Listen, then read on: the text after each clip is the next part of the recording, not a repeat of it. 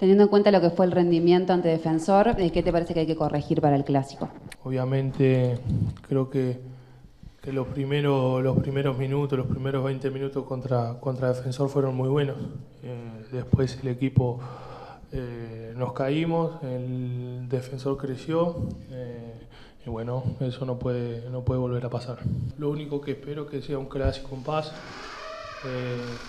que cada uno disfrute de, su camiseta. Somos rivales, sí, por, 90 minutos, 95, lo que dure según los descuentos, pero, pero creo que después del partido termina ahí, ¿no?